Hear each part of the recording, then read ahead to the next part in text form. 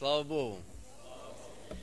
Братья и сестры, за то, что Бог даровал нам такую прекрасную возможность вот, быть здесь вместе со многих мест. Приехало много гостей, друзей, вот, братьев и сестер. И в этом общении мы будем славить нашего Господа, вот, назидаться друг с другом. И слава Иисусу за то, что Он соединяет нас. И сегодня мы будем свидетелями такого события, открытия вот этой миссионерской школы. Вот, и уже приехало здесь около 30 студентов. Они уже готовы учиться, исполнены такого энтузиазма, такой благодати, желания вот научиться и идти проповедовать Евангелие по всему миру. Правильно? Аллилуйя. Слава Господу. Вот, поэтому, дорогие друзья, я бы хотел прочитать одно место. Это первое послание Иоанна, первая глава и первый стих.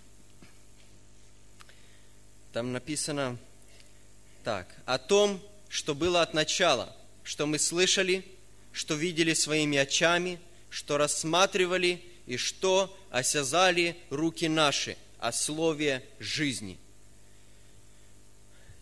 Евангелист и апостол Иоанн, он писал о том, о чем знал. Он говорит, я пишу вам о том, что было от начала. Я пишу вам о том, что мы слышали.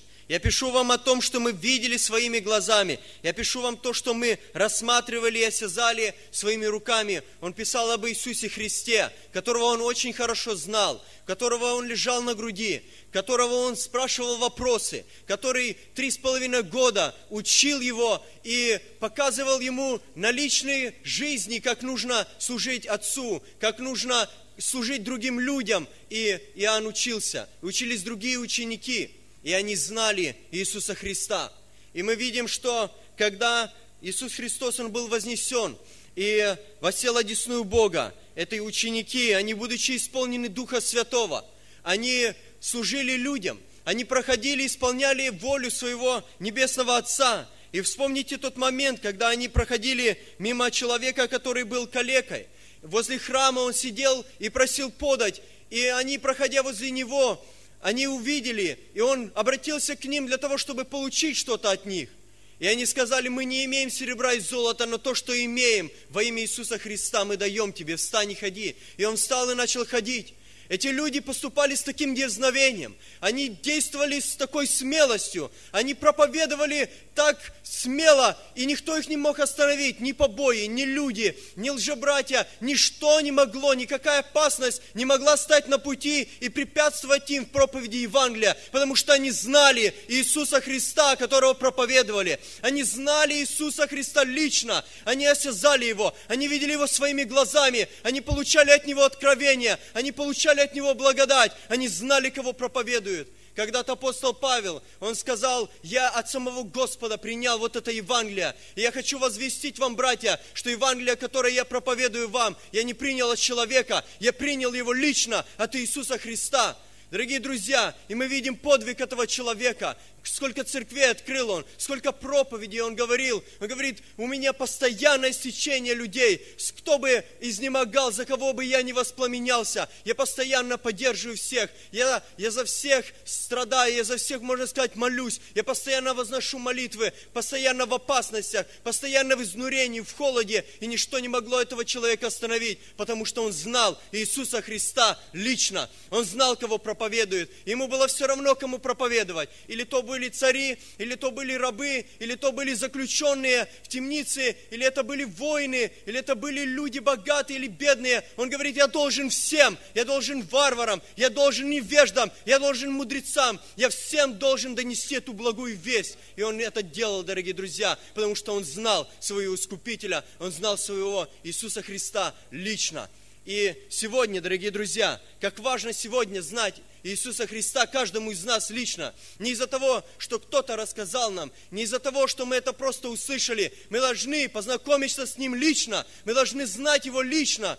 Вы знаете, в школе приезжают студенты, и очень важно, дорогие друзья, вам познать Иисуса Христа. И главная цель школы, дорогие друзья, это не просто передать знания, потому что можно много знать. Вы знаете, как вот эти семь сыновей первосвященника или священника Скевы, они тоже услышали, что там какой-то апостол Павел ходит, изгоняет бесов, вот, и они решили тоже попробовать. Они слышали, они что-то знали, они даже дерзнули то, чтобы повторить вот это, но у них ничего не получилось из-за того, что они не знали Иисуса Христа, они не имели этого помазания, они не знали лично этого Искупителя, который дает власть, который дает помазание, дает вот эту благодать, дорогие друзья. И знаете, когда студенты приезжают в школу, даже там в Америке, вот, я часто говорю им, послушайте, мы относимся к проповеди Евангелия очень серьезно. Это, это серьезное поручение, потому что Иисус Христос, Он положил свою жизнь за нас. Он висел на кресте за наше спасение, за искупление наших грехов. Он лишился небес, небес вот этой славы всей, обнищал ради нас, как написано, и пришел на эту землю для того, чтобы мы обогатились его нищетою. И если Бог настолько серьезно подошел к спасению людей, то как должны сегодня мы относиться тоже к проповеди Евангелия, насколько серьезно должны мы подходить к этому, дорогие друзья. Поэтому как важно нам сегодня познавать имя Иисуса Христа, познавать глубже, чтобы наши отношения с Ним становились глубже и глубже и глубже с каждым днем, чтобы мы понимали характер Христов, чтобы мы понимали, как нам нужно служить другим людям, чтобы мы имели ту же любовь, какой любит Он.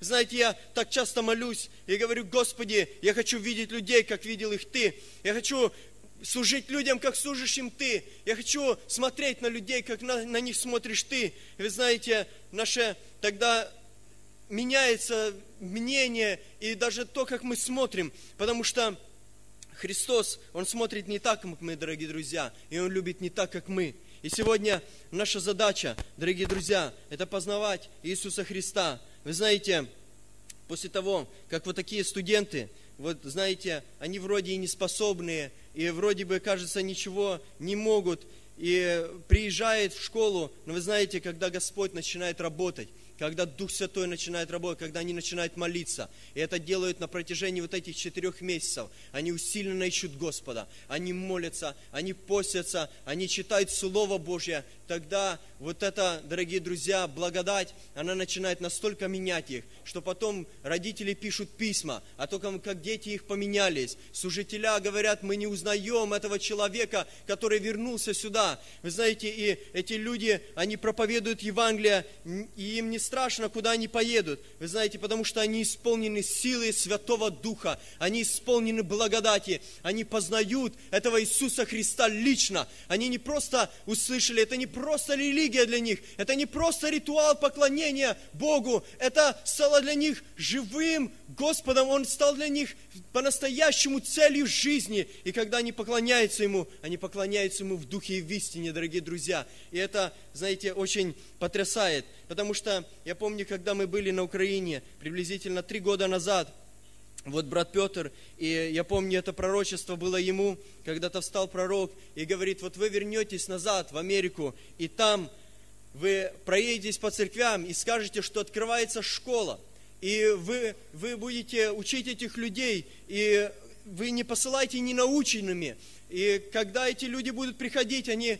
будут приходить неспособными, но я буду их делать способными, я буду, я буду учить их там. И вы, дорогие друзья, прошло три года, вы знаете, множество миссионеров выпустилось за эти года, и множество из них, они проповедуют Евангелие, вот и до сих пор некоторые посвятили свою жизнь, вот проповеди Евангелия в различных странах, кто-то посвящает свою жизнь в Индию едет, кто-то посвящает свою жизнь, едет в Мозамбик, в Африку, кто-то посвящает свою жизнь для Украины, и они они едут сюда на год и на больше и служат людям, которые живут в этих странах и проповедуют Слово Божье. И кто это делает, дорогие друзья? Кто зажег огонь в сердце Павла, когда он шел и проповедовал Евангелие, просто несмотря ни на какие препятствия и трудности? Кто зажег сердце Иоанна и Петра, когда они могли возложить руки, и люди получали Святого Духа, когда они молились, и люди получали исцеление, когда они повелевали нечистым духом, и эти повиновались им и оставляли этих людей. Что произошло с этими людьми? Они познали живого Иисуса Христа, который изменил их жизнь раз и навсегда. И поэтому, дорогие друзья, сегодня не только студенты, студентам, которые приехали в школу, но всем нам. Нам нужно познавать Иисуса Христа глубже. Нам нужно черпать от Него силу. Нам нужно получать от Него благодать, чтобы мы могли принести плод для Его Царства,